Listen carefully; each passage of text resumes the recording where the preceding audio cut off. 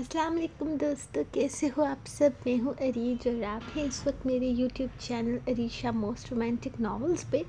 तो गाइस कल कुछ लोगों ने कहा कि आप टाइमिंग चेंज करें, नावल की सुबह के टाइम हमारे पास वो नहीं होता और हम रात को करते हैं। तो यार, मुझे मसला नहीं है, मैं रात को ही पोस्ट कर दिया करूँगी, मैं स्केड्यूल कर दूँगी तो वो अपने टाइम पे वो हो जाया करेगी पोस्ट अगर आप लोग रात को ज़्यादा ईजी रहते हो तो फिर रात को पोस्ट कर देंगे। आप लोग कमेंट सेक्शन में मुझे बता दीजिएगा।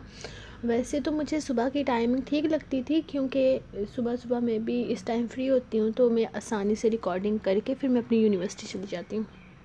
लेकिन आप लोगों की मर्ज़ी, आप लोग जिस तरह से कहोगे, उसी तरह से हो जाएगा। तो आज के एपिसोड स्टार्ट करते हैं। स्टार्टिंग में कुछ लोग पूछ रहे कि बच्चे की कहानी कब तक चलेगी। मे भी आज के एपिसोड और कल के एपिसोड में बच्चे की कहानी है, उसके आगे शाजल जवान हो जाएगा। तो फिर मेन स्टोरी की तरफ़ हम आ जाएँगे। ये मैं बचपन दिखा रही हूँ कि शाजल के साथ क्या क्या हुआ है और अगर वो किसी बुरी आदत में गया है तो उसके पीछे का रीज़न क्या है।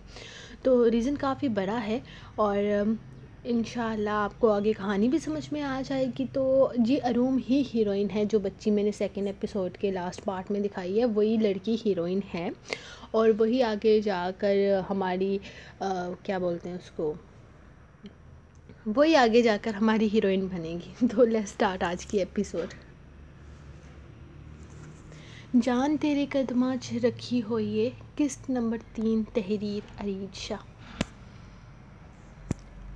बाय बाय अरुण, मैं जा रहा हूँ। वो इससे हाथ मिलाते हुए एयरपोर्ट पर खड़ा, इससे बोल रहा था, जब वह चाहत गुस्से से इसका हाथ छुरा कर इसे घसीटते हुए बाप के करीब ले गया। वो गंदा है, इससे बात मत करो। वह चाहत ने जैसे इसे हुक्म सुनाया था। देख रहे हैं भाई साहब आप माफ़ कीजिएगा, लेकिन ये जो आपने बचपन से ही वजाहत के दिमाग में ये बात डाल दी है कि अरूम इसकी है, वो आगे जाकर अरूम के लिए मसले पैदा कर सकती है। आपको शायद मेरी बात बुरी लगेगी, लेकिन बचपन के रिश्तों का मैं इख्तलाफ करता हूँ। मुझे ये चीज़ बिल्कुल पसंद नहीं है। मेरे ख़्याल से बच्चों की मर्ज़ी का भी ख्याल रखना चाहिए। आपने अपनी दोनों बेटियों के रिश्ते अपने भाई के बेटों से कर दिए। देखा जाए तो इसमें कुछ गलत नहीं है। आपने अपनी बच्चियों के फ्यूचर के लिए ही ऐसा किया होगा, लेकिन फिर भी, अभी वो बहुत छोटी है। खासकर अरोम तो अभी एक साल की भी नहीं हुई। वो जब आहिस्ता आहिस्ता बड़ी होगी, इसे समझ में आएगा। तो वो यही समझ पाएगी कि इसकी ज़िंदगी शुरू होने से पहले ही कैद हो चुकी है। पता नहीं आपको मेरी बात, बातें कैसी लग रही होंगी, लेकिन मुझे बचपन के रिश्ते हर हरगिज़ पसंद नहीं हैं। आसम, आप भी क्या फजूल बातें लेकर बैठ गए? चलिए अनाउंसमेंट हो रही है। हमारी फ़्लाइट का टाइम हो गया है। वो अपने भाइयों से मिलते हुए आसम से कह रही थी, जो इसके भाई भाई को एक गहरी सोच में छोड़ गया था। अरूज वजाहत, बेटा आ जाओ। अरूज वजदान, बेटा आ जाओ, घर चलें। वो अरूम को अपनी गोद में उठाते हुए सबको घर चलने का कह रहे थे, लेकिन इनके जहन में एक लम्हे के लिए ये बात बैठ गई थी कि वजाहत महज आठ साल की उम्र में इनकी बेटी, एक साल बेटी की ज़िंदगी का मालिक बन गया था। जबकि अरूम के मुकाबले में चार साल अरूज किसी को कुछ समझती ही नहीं थी। वो तो वज, वजदान को भी इस तरह से इग्नोर करती थी जैसे वो वहाँ मौजूद ही ना हो। पर वजदान भी इसे कुछ ख़ास पसंद नहीं करता था। लेकिन इनकी मंगनी भी चार साल पहले ही अरूज की पैदाइश पर हो गई थी। जिस तरह अरूम की पैदाइश पर उन्होंने वजदान के नाम की अंगूठी इसे पहना दी थी। यहाँ इस घर घर में आने की खुशी में इन लोगों ने बहुत बड़ी पार्टी दी थी। वो इस वक्त टोक्यो के रिहायशी बन चुके थे। यहाँ के लोग इन्हें बहुत बेहतर तरीके से जानने लगे थे। वो काफ़ी बड़े बैकग्राउंड से ताल्लुक़ रखते थे। इसीलिए वहाँ पर एडजस्ट होने में इन्हें कोई मसला पेश नहीं आया था। और वैसे भी आसम खान के पास इतना पैसा था कि अगर वो अपनी जायदाद का नब्बे फ़ीसद भी गरीबों में बांट देता तो भी वो गरीब नहीं कहलवा सकता था। एक तो इसके बाप दादा की बहुत जागीर थी और अगर इससे हट कर देखा जाए तो इसने अपनी मेहनत से भी अपने बाप दादा की जागीर को बढ़ाया ही था। इसे कम नहीं होने दिया था और आगे वो अपने बेटे से भी ऐसी ही उम्मीद रखता था, जो इस वक्त सिर्फ़ और सिर्फ़ छः साल का था। वो अपने बेटे शाजल से बेइंतहा मोहब्बत करता था और इसे उम्मीद थी कि सोमिया से पैदा होने वाली औलाद भी कभी भी शाजल की जगह नहीं ले सकती थी। क्योंकि वो इसकी ज़िंदगी की पहली खुशी था, वो इसे बेइंतहा चाहता था और वो चाहता था कि सोमिया भी इससे बहुत मोहब्बत करे। लेकिन कभी कभी ऐसा लगता था जैसे सोमिया इससे तंग आ जाती है। आखिर वो बच्चा था, सताता था इसे, बहुत तंग करता था। लेकिन इसके बावजूद भी सोमिया इससे बहुत मोहब्बत से बात करती थी। इसे सही गलत की तमीज़ सिखाती थी। सोमिया सोतीली होने के बावजूद बहुत अच्छी माँ थी, ऐसा इसे लगता था।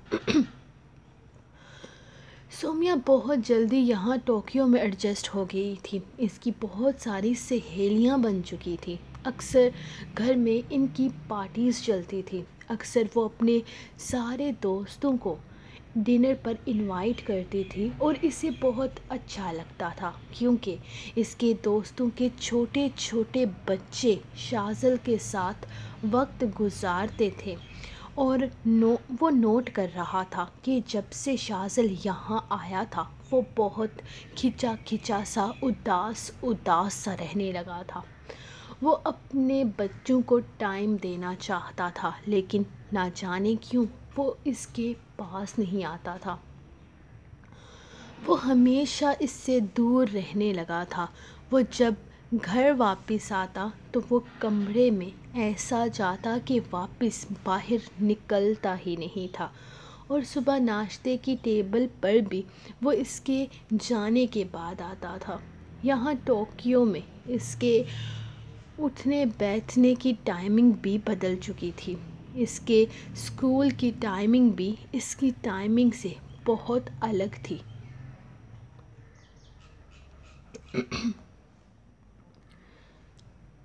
वो अपने बेटे की ज़िंदगी डिस्टर्ब नहीं करना चाहता था, लेकिन इसके बावजूद भी वो इसके साथ वक्त गुजारना चाहा था, चाहता था। एतवार को इसे थोड़ा सा वक्त मिलता था अपने बेटे के साथ गुजारने के लिए, लेकिन इसका बेटा तब भी इसके साथ वक्त गुजारने के बजाय सारा सारा दिन कमरे में वीडियो गेम्स खेलता रहता था। डार्लिंग, तुम भी ना ज़रा सी बातों को सर पर सवार कर लेते हो। वो खुश है अपनी वीडियो गेम्स के साथ। तुम्हें इसे खुश रहने देना चाहिए। कितनी मुश्किल से मैं इसके दिमाग से वो सारी चीज़ें निकाल पाई हूँ। कोर्ट कचहरियों के चक्कर में वो कितना डिस्टर्ब था। तुम्हें अंदाज़ा भी नहीं है। फ़िलहाल इसे अपनी ज़िंदगी अपने तरीके से गुजारने दो।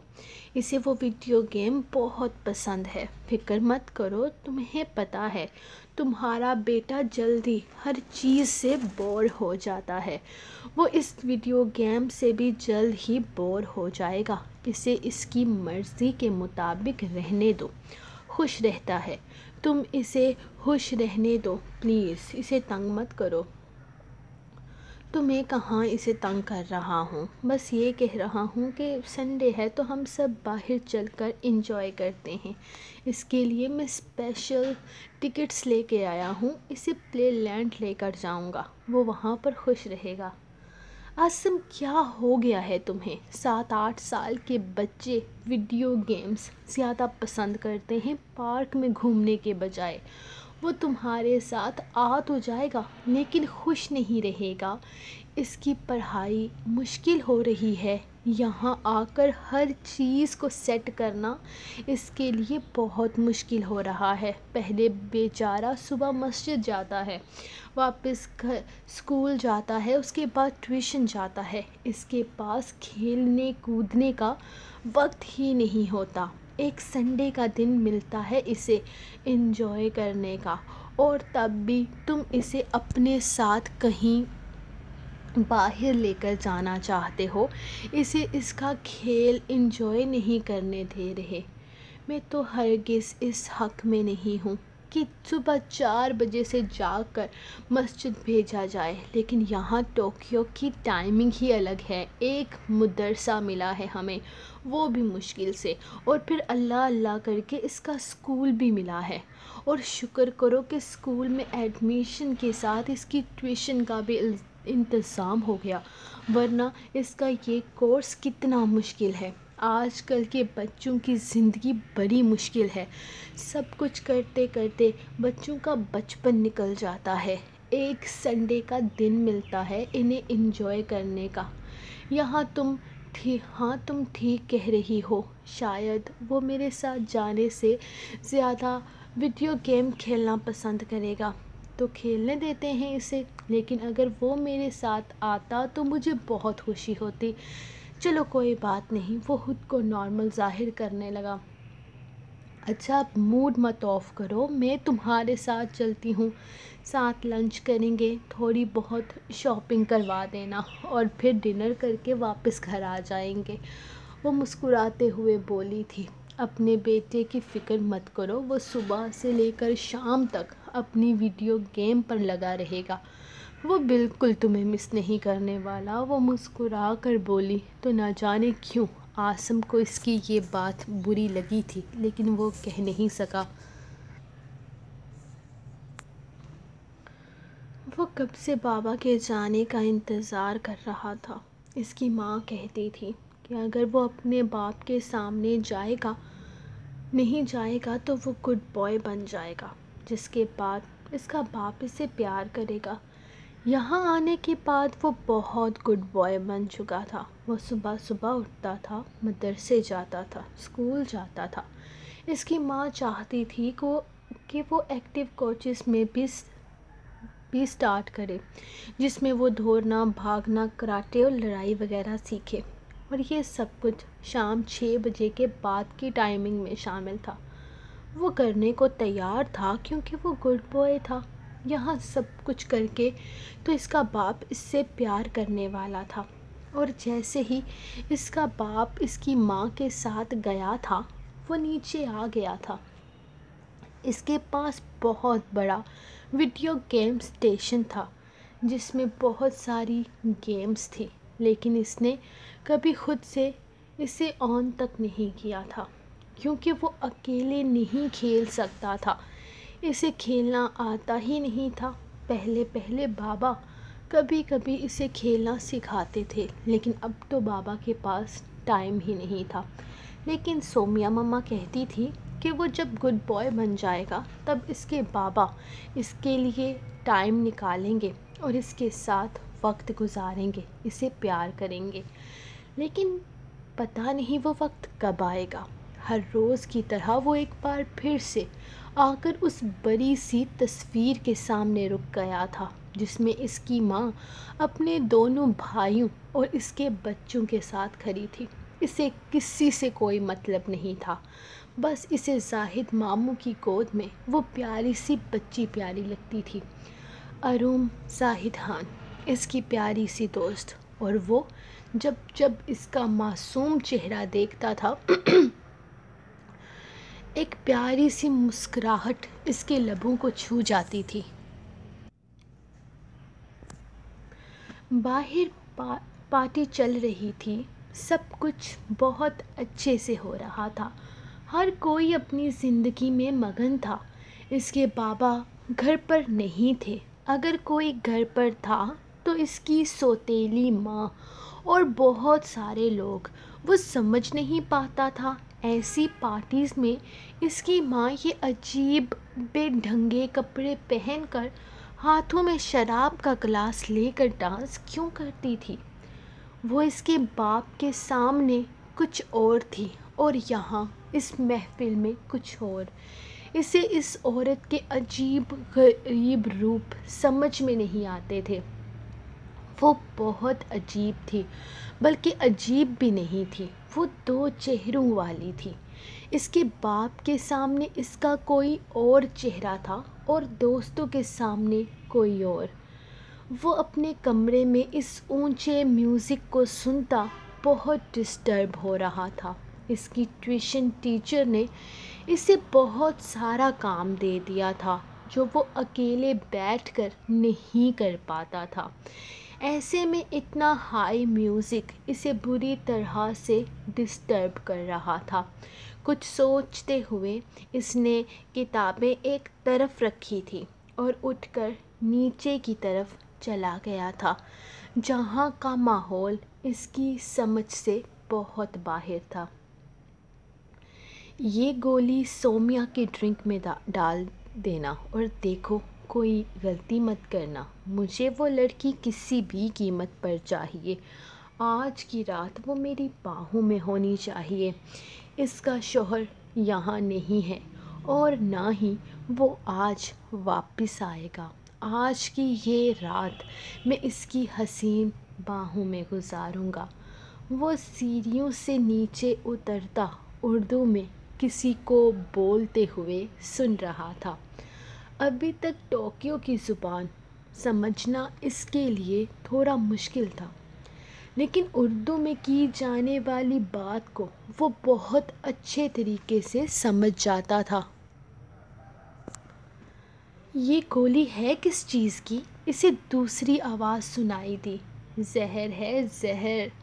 ऐसा जहर है जो इसके जिस्म में उतर कर मेरे सारे जज्बात को परसकून कर देगा। मुझे सुकून दे देगा। मुझे बस वो लड़की चाहिए आज रात के लिए। बस ये नशे की गोली इसकी ड्रिंक में मिला दो और इसे पिला दो। वो गिलास इस आदमी को पकड़ाता, आगे बढ़ चुका था, जबकि शासिल समझ चुका था कि सोमिया को जहर दिया गया है। और जहर पी कर तो सब लोग मर जाते थे ना। इसके दोस्त तैयब की अम्मी को भी तो किसी ने जहर पिलाकर मार दिया था। वो पुरानी बातें याद करता, जल्दी से अपनी माँ की तरफ़ भागा था। इससे पहले कि वो आदमी ड्रिंक का गिलास लेकर इस तक पहुँचता, वो इसे धक्का मारता, इसका गिलास नीचे फेंक चुका था। शाजल, बदतमीज़, तुम्हारी हिम्मत कैसे हुई अंकल को धक्का मारने की? सॉरी बोलो अंकल को अभी और इसी वक्त। वो इसके मुँह पर थप्पड़ मारती, इसे घसीटते हुए उस आदमी के सामने ले आई थी। मम्मी, इस गिलास में जहर है। इन अंकल ने जहर मिलाया है इसमें, वो रोते हुए बोल रहा था। क्या क्या दिमाग ख़राब है इस बच्चे का? क्या बकवास कर रहा है ये? मैं क्यों जहर मिलाऊँगा इस गिलास में? मेरा क्या दिमाग ख़राब है कि मैं ऐसी हरकत करूँ? गा वो परेशानी से कहने लगा, जबकि सोमिया ने हाथ उठाकर इसे खामोश करवा दिया। नहीं रिजाक ये आदि है। इसे अटेंशन चाहिए होती है। इसीलिए इस तरह के फजूल हरकतें करता है। ना बाप इसे अहमियत देता है और ना ही इसकी माँ ने इसे पूछा। दिमाग ख़राब है इसका और कुछ नहीं। जान अजाब कर रखी है इसने मेरी। आए दिन कोई ना कोई ऐसी हरकत करता ही रहता है। लेकिन अब बहुत हो गया। आज की रात जब बाहर बर्फ़ में गुजारेगा ना, तब इसकी अक्ल ठिकाने आएगी। वो गुस्से से घसीटते हुए इसे घर से बाहर ले जाने लगी थी। वो चिल्ला रहा था, चीख रहा था। इसको अपनी बात पर यकीन दिलाने की कोशिश कर रहा था। शट अप और दफ़ा हो जाओ यहाँ से। आज रात तुम्हारा बाप घर वापस नहीं आएगा, इसीलिए। आज की सारी रात तुम इस घर से बाहर रहोगे। अपनी ये शक्ल मुझे दिखाने की ज़रूरत नहीं है और ना ही मैंने तुम्हारी ये गंदी शक्ल देखनी है। दफ़ा हो जाओ यहाँ से। अब अपना ये मनहूस चेहरा लेकर यहाँ तभी वापस आना जब तुम्हारा बाप आ जाएगा।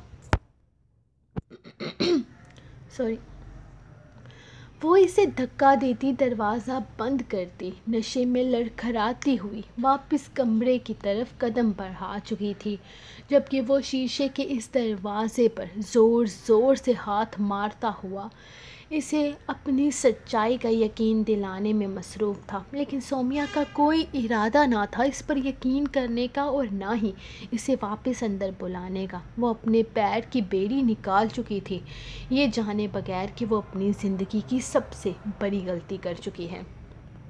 सो so गाइज़ ये थे आप लोगों के एपिसोड नंबर थ्री तो आप लोग टाइमिंग का मुझे बता दीजिएगा। And thank you so much जिन जिन लोगों ने कल मुझे विश किया। आप सबके कमेंट्स मैंने रीड किए। Thank you so much love you all हम मिलेंगे नेक्स्ट एपिसोड में कल सुबह। तब तक के लिए अपनी राइट को दें इजाज़त और दुआ में याद रखें। अल्लाह हाफिज़।